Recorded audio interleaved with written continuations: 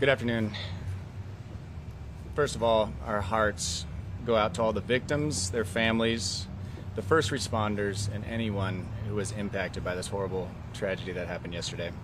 I'm going to summarize the OCFA's involvement in the chain of events from our perspective. At approximately 7:05 p.m., OCFA firefighters responded to Cook's Corner to assist the Orange County Sheriff's Department for a reported shooting. The first engine, Orange County Engine 42, arrived on scene in just under four minutes. Immediate, immediately upon arrival, the Orange County Fire Authority and the Orange County Sheriff's Department went into unified command. Thanks to the quick and courageous work of the Orange County Sheriff, Sheriff's Department, our firefighters were cleared to enter the scene very quickly and were able to begin treatment and transport of the patients that were on scene.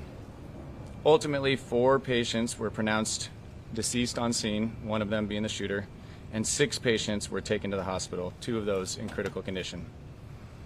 The phenomenal work by the Orange County Sheriff's Department to rapidly secure the scene empowered our firefighter paramedics to get in there and save lives.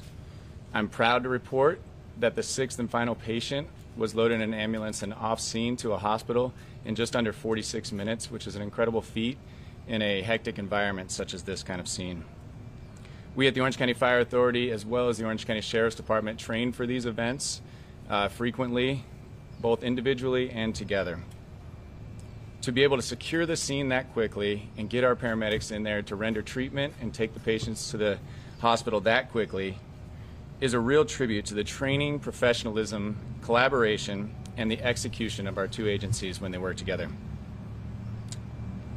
At the conclusion of the incident, all OCFA members who were part of the incident went through a critical incident stress debriefing process. As you can imagine, the sights that they saw that night uh, were pretty horrific.